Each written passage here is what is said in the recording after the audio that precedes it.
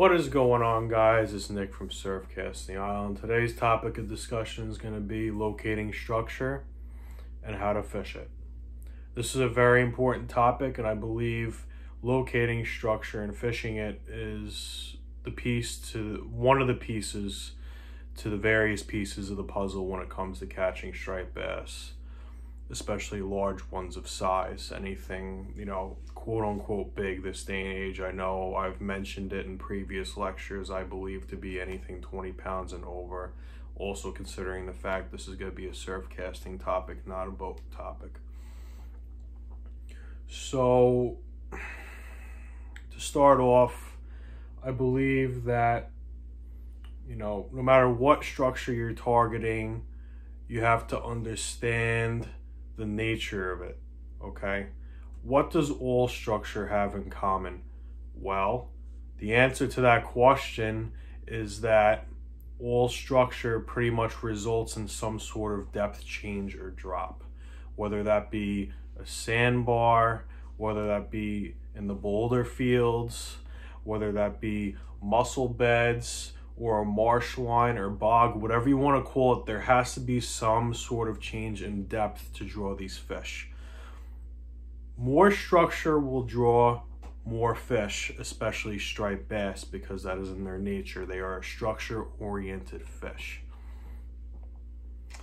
So I'm going to get into shortly about looking at wave patterns and how to identify consistently um, where these drops may be, so on and so forth into depth. Stay tuned. So I know I've mentioned in previous videos of how to locate structure, whether you're fishing a jetty, inlet, or a back bay, but every situation could be different, whether you're looking for buoy markers, breaking waves, so on and so forth. The focus of this discussion is to um, introduce or inform you guys on what to look for that is a consistent factor with all these different terrains that you fish to target striped bass. And that is going to be rip lines. Rip lines are a dead giveaway of a change in depth. As a general rule of thumb, because there are always exceptions to the general rule, shallow water, shallow depths will always have more of a ripple and nervous water as opposed to deeper depths, which tend to flatten out.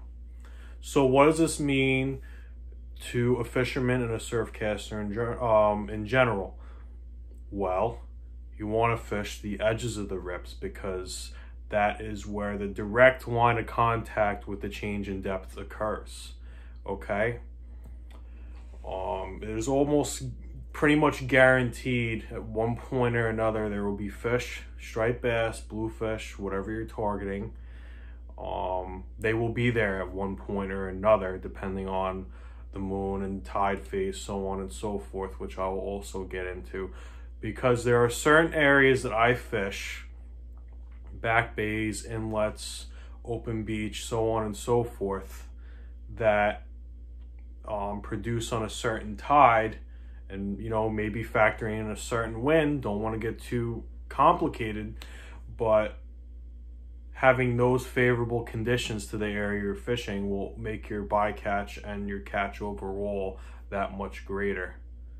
So i'm going to get into why wind and tide and the direction of these drops are so important as to creating a bite because the tide in essence is the bite so if you want to make a rather wide generalization, there are two factors to take into consideration that causes bait to move. That being wind and that being tide. In terms of tide, the moon is what dictates how strong the incoming push or the outgoing pull will be. So pretty much you don't want to be fishing a spot where you have wind against tide. It's almost as if they cancel each other out. They're a neutral.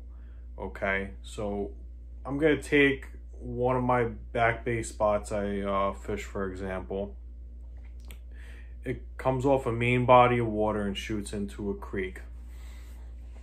on an incoming tide, the um, the tide moves from left to right per se, right?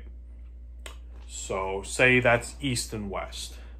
So if you have an incoming tide with an east wind, let's say hypothetically speaking, that's going to cause a great movement of bait as well as predatory fish like striped bass and bluefish. Now factor in the tide. I mean, excuse me, not the tide, the moon phases, the new and full moon. Now you have all the factors playing in because, like I said, the moon is what dictates how strong that tide will be. Okay? The last piece to the puzzle is figuring out which way or how that structure to the area you're fishing sets up. Okay? Because if the tide's moving from east to west and the drop is to the west, you have the golden ticket. Because all those fish have to do is sit right on the edge of that rip and wait for that bait, uh, wait for those bait fish to fly on by because they have to exert pretty much no energy whatsoever using that change in depth as a current break, considering which way the current's moving. So, but say you have an outgoing tide now,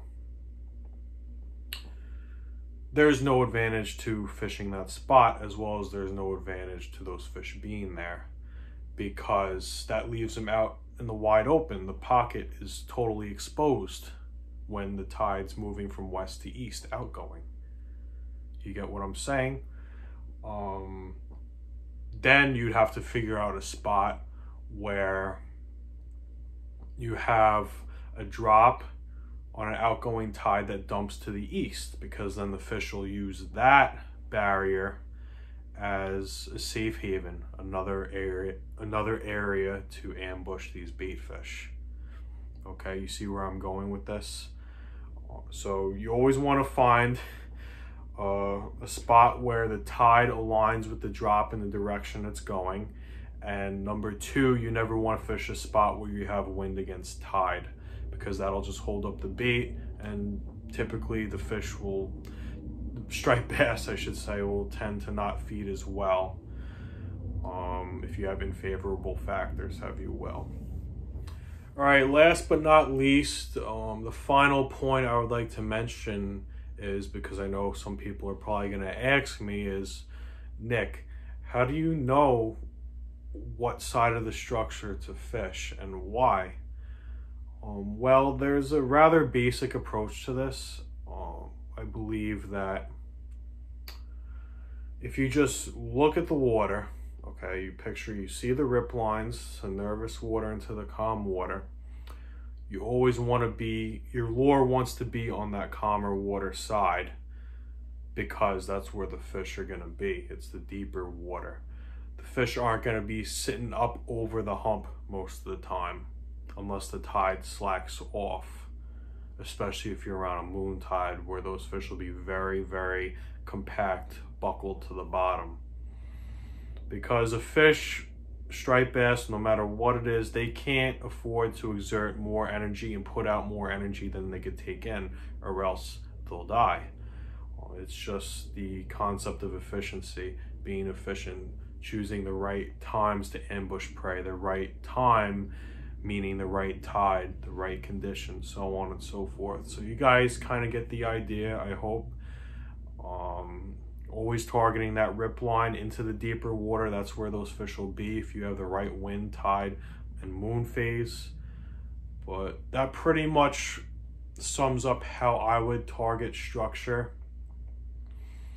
Um, as a generalization, I'm not going to get into every single, you know, inlet, back bay, open beach type of situation because it's just too much to cover in one video. If you guys request it to me, maybe I'll break it up into segments, so on and so forth. But I'm pretty much going to leave off here by saying, you know, I hope you guys learned something. Um, and if you did, please like, comment, hit that subscribe button, and don't forget to follow me on Instagram at surfcasting underscore the underscore island Thank you and have a nice day.